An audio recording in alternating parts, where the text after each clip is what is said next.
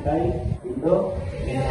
Seperti Nabi Muhammad ajarkan Penguatan wawasan kebangsaan di wilayah perbatasan sangat diperlukan sebagai langkah antisipasi terpaparnya paham Hizbut Tahrir Indonesia atau HTI di kalangan pelajar. Hal tersebut disampaikan Kepala Badan Kesbang Polnudukan Hasan Basri saat menjadi narasumber dalam dialog kebangsaan dengan tema penguatan pendidikan wawasan kebangsaan bagi pelajar di wilayah perbatasan. Hizbut Tahrir Indonesia atau HTI merupakan organisasi yang dilarang di Indonesia karena dikhawatirkan akan membuat gerakan separatis yang membuat negara menjadi bubar.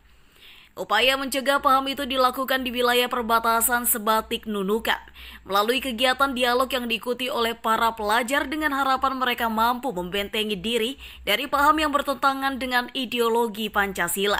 Kepala Badan Kesbang Polnunukan Hasan Basri mengungkapkan kewaspadaannya terhadap tumbuhnya Hizbut Tahrir Indonesia melalui wilayah perbatasan harus diperketat dengan penguatan wawasan kebangsaan agar tidak terjadinya degradasi nasionalisme.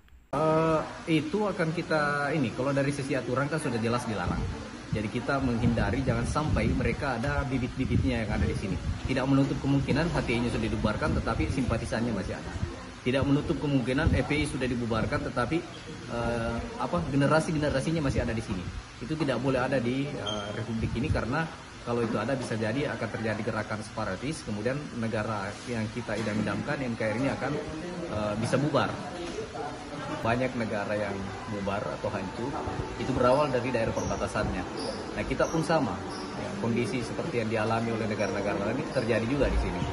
Nah dan bibit-bibitnya itu ada eh, pelatihan-pelatihan atau dialog-dialog ini penting untuk dilaksanakan di perbatasan.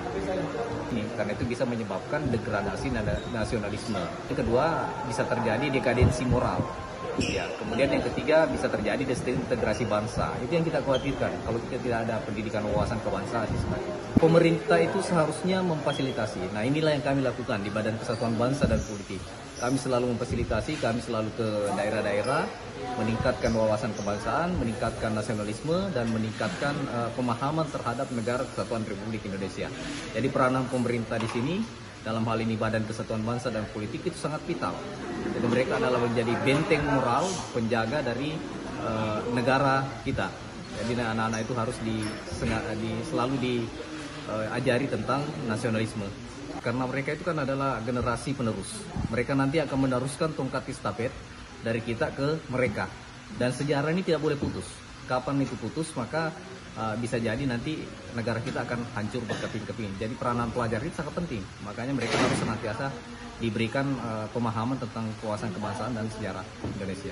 Selain itu, kemudahan dalam mengakses informasi di era digitalisasi saat ini membuat pelajar dan generasi muda saat rentang terpapar paham radikalisme. Peran serta masyarakat pun diharapkan agar bisa proaktif dalam menyuarakan nilai kebangsaan kepada generasi muda. Tim Liputan, TVku.